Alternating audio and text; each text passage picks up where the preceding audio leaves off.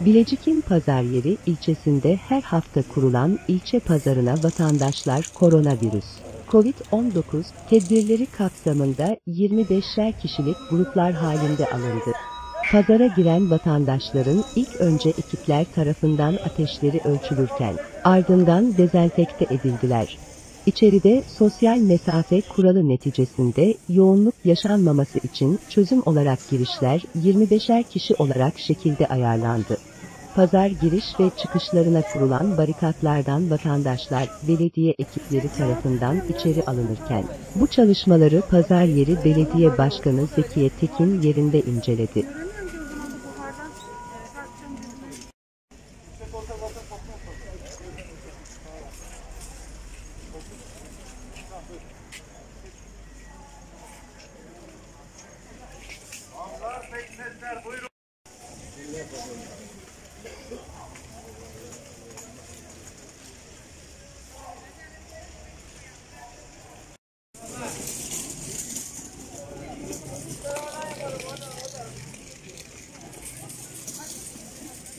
Yavaş yavaş gelelim. Mesafeli gelelim.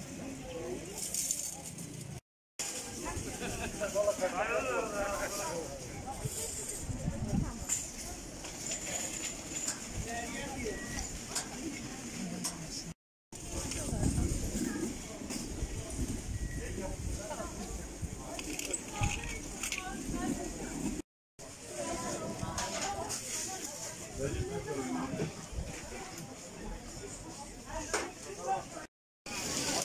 100 tane. Pazaryeri ilçemizde Pazaryeri Belediyesi, Pazaryeri Kaymakamlığı ve Vefa Destek Grubu ekibimizle birlikte e, Covid-19 virüsünün ülkemizde e, başlamasından itibaren tedbirlerimiz her zamanki gibi devam ediyor.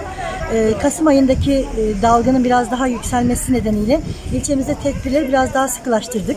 Hususa meclis kararımızda aldığımız sokakta sigara içme yasağımız, kahve önerinde daha tedbirli lokantalarda ve umumi yerlerde daha tedbirli olmaları, maske ve mesafe kurallarına uymaları konusunda tedbirlerimiz devam ediyor. Gördüğünüz gibi e, ilçe halk pazarımız cumartesi günleri kuruluyor. E, vatandaşlarımız da sağ olsunlar e, tedbirlerimize riayet gösterip kurallara uyuyorlar. Hiçbir sorun çıkarmadan sıralarını bekliyorlar. Mesafe kurallarına uyarak e, 25'er kişi halinde pazarımıza vatandaşlarımızı alıyoruz.